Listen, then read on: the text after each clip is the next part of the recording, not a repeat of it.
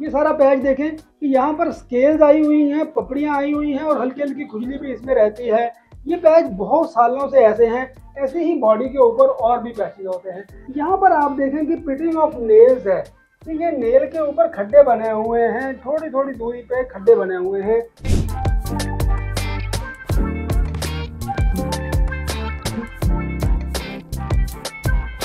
Crisis के treatment में early treatment क्यों इम्पोर्टेंट होता है? हम अपनी सारी वीडियोस में बताते हैं।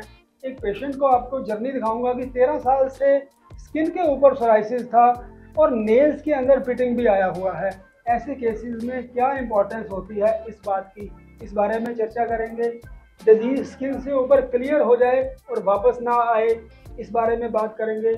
पेशेंट की क्वालिटी ऑफ़ लाइफ के बारे में बात करेंगे। क्या क्या समस्याएँ इनको सोराइसिस की वजह से आती हैं और ट्रीटमेंट के बाद हमारा क्या प्रोटोकॉल है?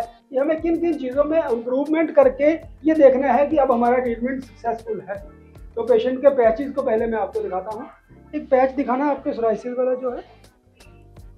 यहाँ पर आप जैसे देख रहे हैं, ये सारा पैच देखें कि यहाँ पर स्केल्स आई हुई हैं, पपड़ियाँ आई हुई हैं और हल्की हल्की खुजली भी इसमें रहती है। ये पैच बहुत सालों से ऐसे हैं ऐसे ही बॉडी के ऊपर और भी पैचेज होते हैं। एक जो इम्पोर्टेंट पॉइंट मैं आपको दिखाना चाहूँगा, आप हाथ रखें और अगर आप जूम कर पाएँ, इस इस नाखून के ऊपर जूम करें आप। इस पॉइंट को आप देखें। यहाँ पर आप देखें कि पिटिंग ऑफ़ नेल्स है। तो ये नेल के ऊपर खड्डे बने हुए हैं थोड़ी थोड़ी दूरी पे खड्डे बने हुए हैं। और यहाँ पर भी एक बार जूम करें, ये वाला नेल आप देखें। ये वाला जो नेल है, इसके ऊपर भी खड्डे बने हुए हैं। मल्टीपल एरियाज़ के ऊपर फिटिंग आया हुआ है इस पेशेंट के अंदर। और जनरली हमने क्या ऑब्ज़र्व किया है कि 10 से 12 साल जब सोराइसिस स्किन के ऊपर रहता है तो नेल्स के ऊपर आता है।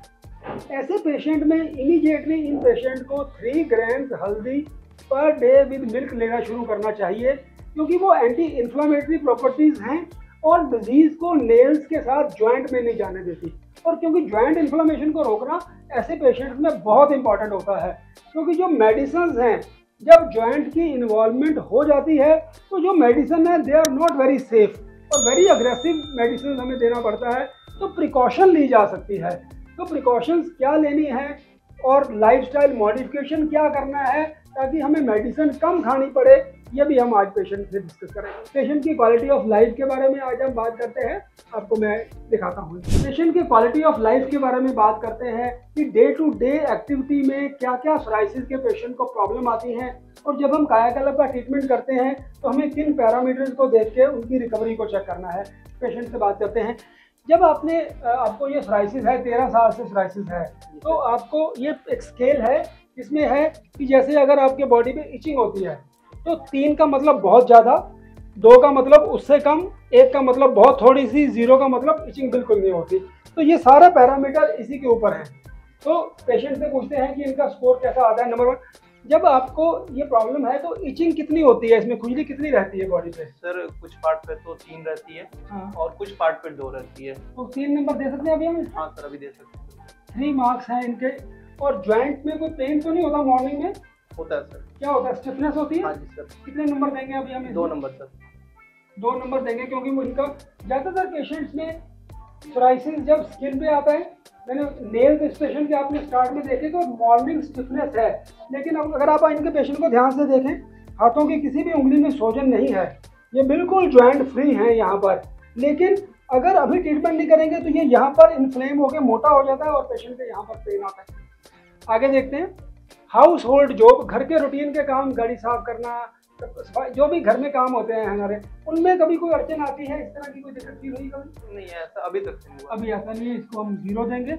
कपड़े खरीदते हैं कि मैं पूरी बाजू का कपड़ा खरीदूं हाफ़ ऐसा कुछ इशू क्या स्कोर देंगे हम इसमें? मतलब पैचेस को छिपाने के लिए मैं दिमाग में रहता है कि पूरे बाजू का ही खरीदूं तो कितना स्कोर देंगे हम इसको? दो number two hesitate in relative home किसी के रिश्तेदार के घर जाना है तो हम सोचते हैं कि यार वहाँ जाएँगे तो ऐसा ऐसा कभी कुछ बातें दिमाग में आती हैं? आती है सर हंड्रेड परसेंट आती हैं। तो कितना नंबर देंगे तीन नंबर दे देंगे।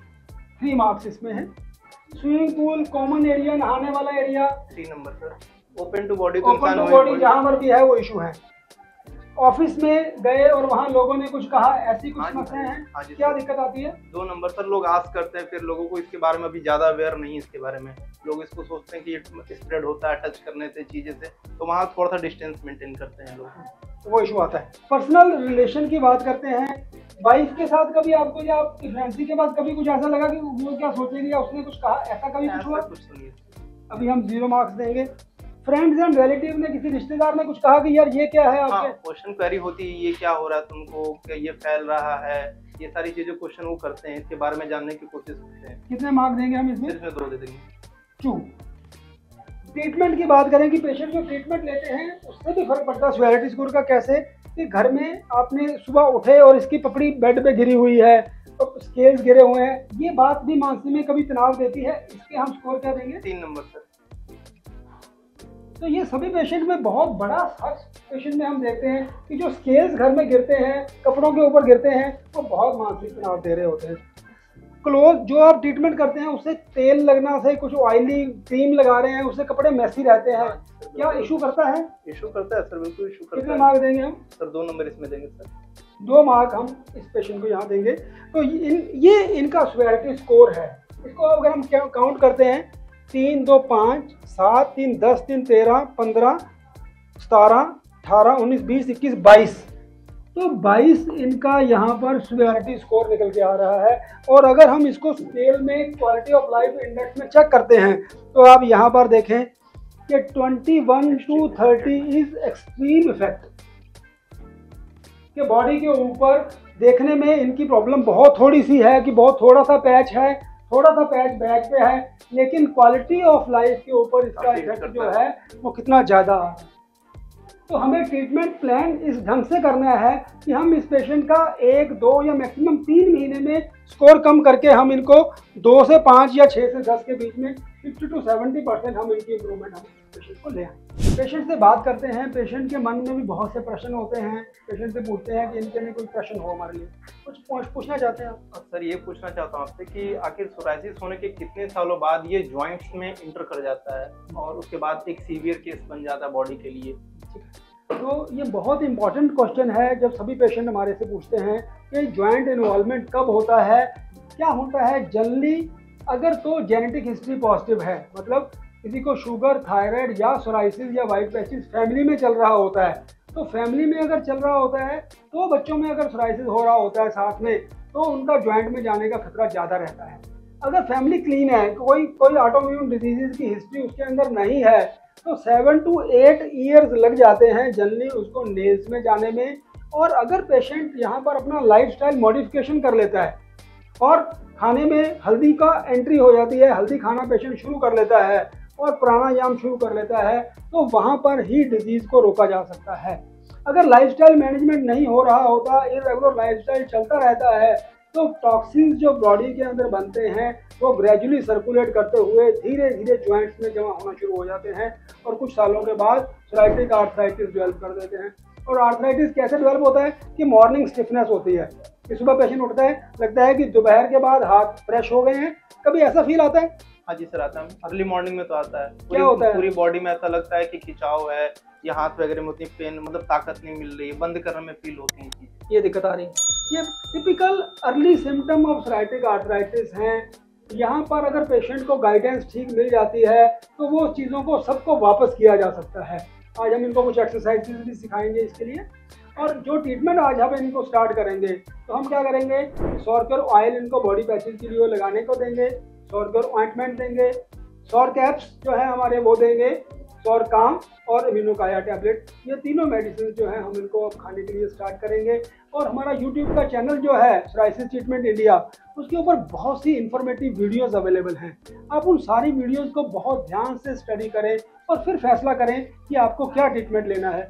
क्योंकि मैंने क्या नोट किया है कि अगर आपको इस जर्नी के अंदर एक या दो डॉक्टर ऐसे मिल जाते हैं कि जिनको डिज़ीज़ को ठीक करने का एक्सपर्टाइज उतना अच्छा नहीं होता तो कई बार डिज़ीज़ जो है दूसरे बॉडी पार्ट्स में जाके और जॉइंट्स में भी एंटर कर जाता है। और अभी इंफॉर्मेशन इतना ज़्यादा हो गया है कि यूट्यूब पे हम लोग पिछले 20 सालों से यूट्यूब के लिए वीडियो बना रहे हैं। अब अब हमारे चैनल पे सब जाएँगे तो वो देखेंगे कि मेरी खुद की 20 साल पुरानी वीडियोस भी वहाँ पर अवेलेबल हैं, जब मेरी एज 35 साल के आसपास हुआ करती थी। तो अभी बहुत सारी वीडियोज़ आजकल मैं देखता हूँ कि यंग यंग लोग ये भी कह रहे हैं कि तीन महीने में बीमारी को जड़ से काट दिया जाएगा। तो बी स्मार्ट बी इंटेलिजेंट और सोच के फैसला करें कि आपको अपनी डिज़ीज़ के लिए क्या फैसला करना है। नमस्कार।